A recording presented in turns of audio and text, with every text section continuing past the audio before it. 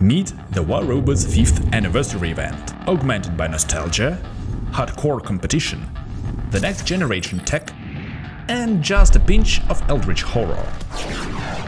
During the event, a new highly competitive mode, Arena, will take over the skirmish. Arena is a mode for those who are looking for real competition. You will fight on the most iconic robots from each War Robots era.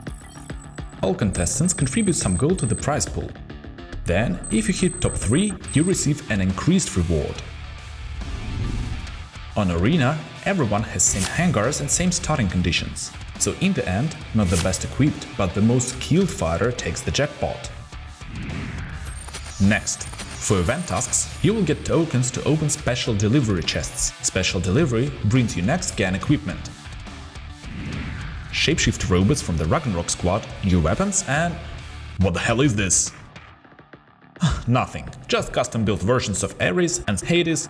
These hit robots are receiving limited editions for the event open special delivery chests and style on your opponents like never before.